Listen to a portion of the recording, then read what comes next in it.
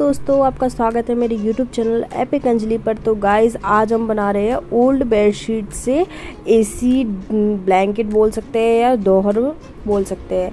तो देखिए गाइज़ मेरे पास ये सेम सेम बेडशीट थी तो मैं इन दोनों से ये बना रही हूँ। इसके बीच में मैं कुछ भी ऐड नहीं करूँगी, इन दोनों को ही मैं ऐड करूँगी। तो देखिए मैंने इस तरीके से डबल बेड की है तो इसमें चारों तरफ़ मैं स्टिचिंग कर लूँगी।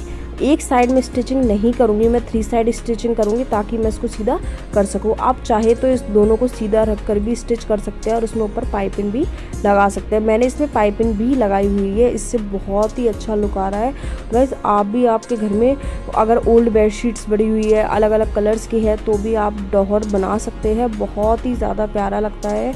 और गाइज़ आप मार्केट में परचेज़ करेंगे तो ये थाउज़ेंड अवॉव ही मिलता है तो आप घर में इसे बिल्कुल ही ज़ीरो कॉस्ट में बना सकते हैं। तो देखिए मेरे पास गाइस से कॉटन का एक फैब्रिक रखा हुआ था तो मैंने इसमें कॉम्बिनेशन पिंक कलर का दे दिया। तो पिंक कलर की देखिए मैंने इसमें पाइपिंग ऐड कर दी। कितना ज़्यादा प्यारा लग रहा है कोई कह ही नहीं सकता कि ये मैंने घर पर बनाया है। तो गाइज़ आप भी इस तरीके से दोहर घर पर बना सकते हैं बहुत ही ज़्यादा प्यारा लगेगा। तो गाइज़ आपको अगर हमारी वीडियो थोड़ी सी भी पसंद आए तो प्लीज़ हमारे चैनल को आप ज़रूर सब्सक्राइब कर लीजिएगा और आ, वेल आइकन पर ज़रूर प्रेस कर लीजिएगा और इससे भी पहले गाइज़ मैंने काफ़ी सारी वीडियोस डाली हुई है कि वेस्ट फैब्रिक से कुशन कवर्स कैसे बनाए टेबल रनर कैसे बनाए तो आप उनको भी ज़रूर वॉच कीजिएगा। तो गाइज़ आप भी इसे ज़रूर ट्राई कीजिएगा और आप कमेंट सेक्शन बताइएगा कि आपको हमारी वीडियो कैसी लगी।